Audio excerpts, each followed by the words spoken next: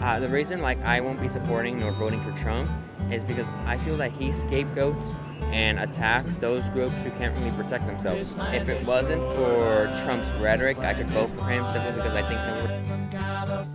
Republican Party registration and uh, Republican Party, take note. I think you're going to see a whole lot more of these. I've been a Republican all my life, but I will never be a Republican again.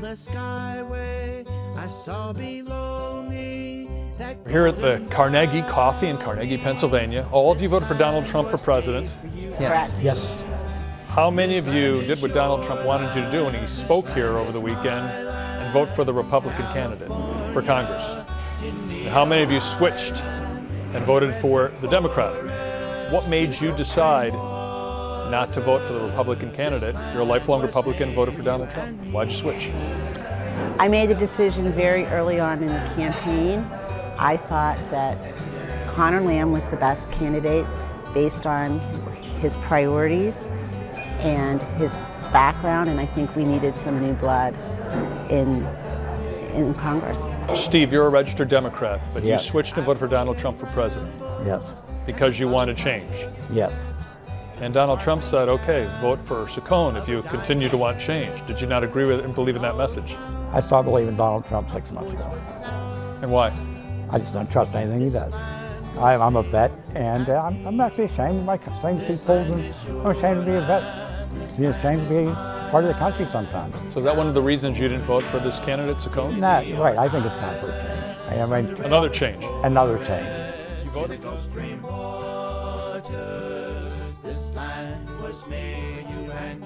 Millennial women are leaving the GOP in droves. Let's get right to the stats. Between 2002 and 2017, millennial women who identify as Democrat grew from 54% to 70%, according to a new Pew Research poll. Conversely, 23% of millennial women now identify as Republican as compared to 36% in 2002. The amount of millennial men who identified as Democrat has gone from 52 to 49% in that same time frame, so it's gone the other way. Uh, about 41% of millennial men identify as Republican compared to 39% in 2002. And then right now, 56% of women lead towards or affiliate themselves with the Democratic Party compared by, uh, with only 44% of men. All right.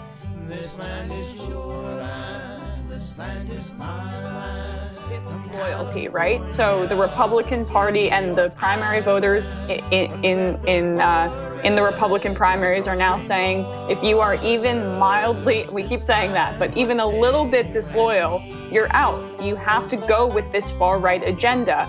And I know we're always talking about the discord in in the Democratic uh, in the Democratic Party in the DNC, but this cannot stand for that much longer. When you have a leader that is this extreme and the voters who are active in their elections saying every single Republican has to be as extreme um, as as our, our leader. I don't know how it is sustainable long term. Yeah, I've been wondering that. There was an op-ed recently in the Washington Post that point, I guess it was today, that um, pointed out another little aspect of this to kind of close the circle, which was women who identify as Democrats, according to a recent poll, were significantly more likely to say they were absolutely certain to actually go and vote in 2018 than their peers who say they're either independent or Republican. So it's a growing number of people, uh, of women who are millennials who say that they're Democrat and they are extremely likely to actually put that new ideological affiliation into practice at the polls.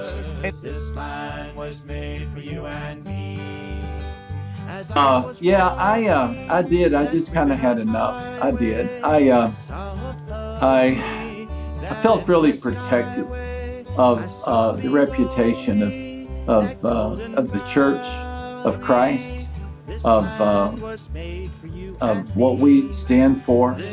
And um, when Mr. Trump would call himself a Christian and then call someone a bimbo, or when he'd hold up a Bible one day and then make fun of a reporter's menstrual cycle the next, uh, when he would be crude and uh, almost barbaric, uh, the, the kind of stuff the middle schoolers do in the locker room.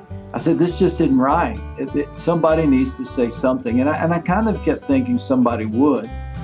Uh, but when no one did, and it just got worse and worse, I said, I, am just going to see what happens. And so I wrote the blog. And within 36 hours, it had been uh, read uh, nearly 4 million times. And uh, it got picked up by the Washington Post. It's gotten a lot of stir. I, maybe I hit a nerve. Maybe I'm not the only. Not everybody likes what I said, and that's okay. I like you said, I'm focusing not on policy, but on tone, on demeanor, right. uh, on the way he comports himself, and I just don't think it's consistent. Uh, you know, with with right. with the way he should be talking. If he calls himself a Christian, he needs to talk a certain way and behave a certain way.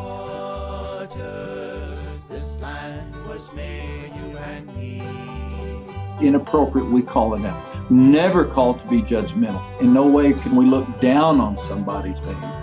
But we are called to look into somebody's behavior and, and, and see how it aligns with the faith. And that's a good point.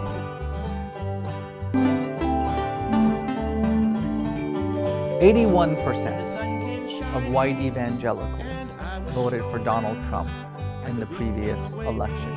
That's a record. That's more white evangelicals than voted for George W. Bush, and George W. Bush was a white evangelical. This makes no sense to people, especially when you consider that Trump is not just the most irreligious president in modern history, that his entire worldview makes a mockery of core Christian values like humility and empathy and care for the poor um, that this individual, who couldn't even name a single verse in the Bible when asked to do so, and yet, and yet received a record number of votes by white evangelicals.